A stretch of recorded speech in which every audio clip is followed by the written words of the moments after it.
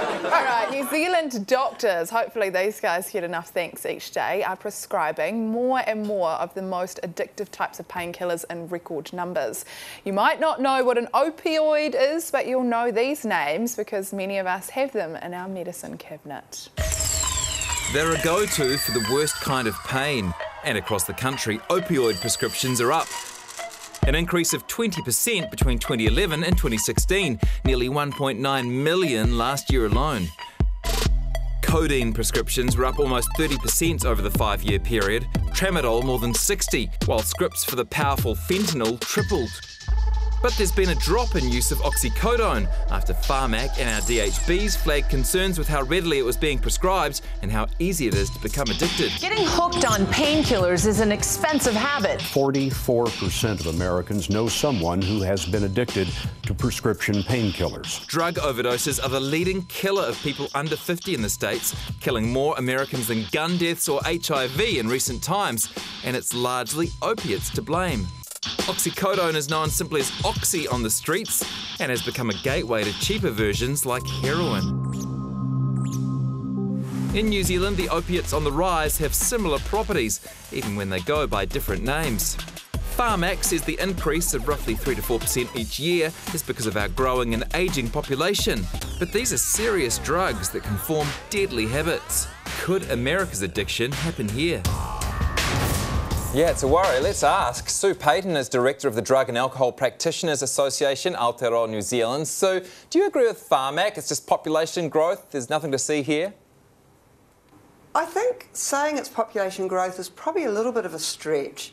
I mean, particularly when you see something like over a five year period, a 213% increase in the prescri um, prescribing of fentanyl. I think population growth does not explain that. So what's going on? Are doctors prescribing it too easily or are Kiwis pushing harder for prescription drugs? I think there probably are some Kiwis that are pushing doctors quite hard, and I think that doctors feel a bit like they're between a rock and a hard place. If they don't prescribe, they will go and um, access the drugs from the street, and that will actually increase risk for their patients. And also, doctors aren't able in New Zealand to prescribe opiate substitution, so that's, that's another factor. So, do we have evidence that New Zealanders are abusing their painkillers? The um, Drug Foundation recently did a survey of university age students, and they found that about 30% of those students used opiates recreationally. In most jurisdictions, there's about 1% of the population that has an addiction with, to opiates. Um, there's no reason to believe that New Zealand's any different. And if that's true, that's a lot of people, that's 50,000 people. Uh, is this a good argument for easier access to less harmful pain relief, like marijuana? Just asking for a friend.